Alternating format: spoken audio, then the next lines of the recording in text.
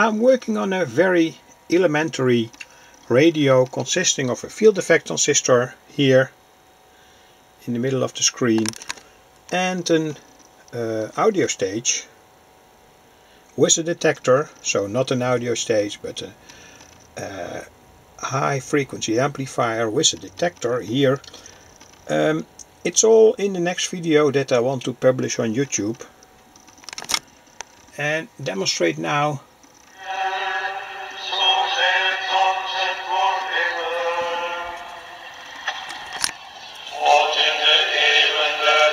This is a religious religious radio station in the Netherlands and when we look at the way the radio signal is detected we see that here.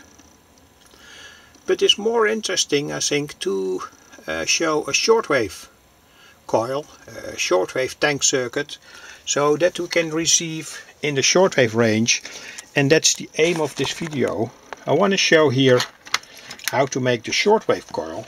This is the shortwave coil consisting of approximately 3, 10 or 11 windings on a toilet roll. The toilet, toilet roll is first covered with this type of glue, glue for sewage pipes inside and outside I have fixed the windings a little bit with needles. And um, after that I'm gonna cover the windings completely with this type of glue.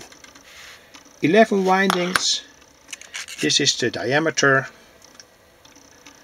Um, and generally spoken this is a good shortwave coil.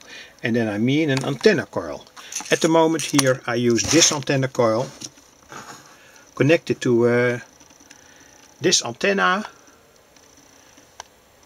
Uh, one meter wire. And perhaps it's interesting to show how selective such a circuit is. Um, have to put on the audio amplifier again. That's this. Well this is the audio amplifier and now I move the coil, sorry, the core in and out. And here you can see and hear how selective this works.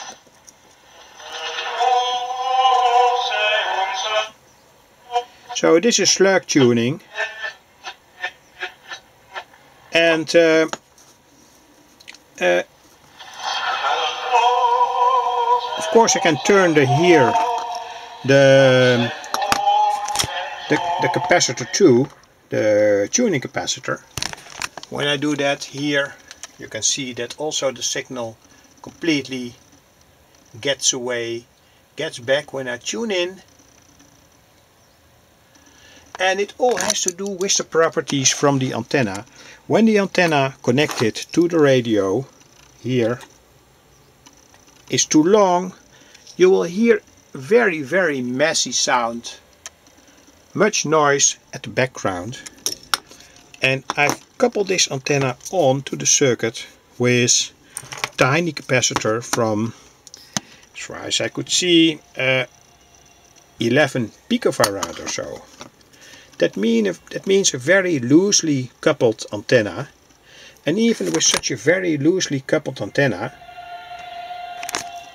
um, or just with such a very loosely coupled antenna, there is good selectivity. The fact that it is loosely coupled here and a high uh, quality coil here makes that it has good selectivity.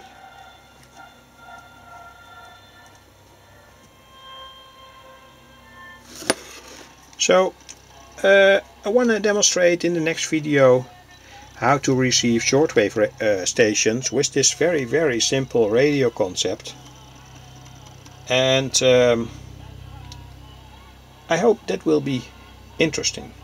Two transistor stages that um, make a direct uh, radio reception possible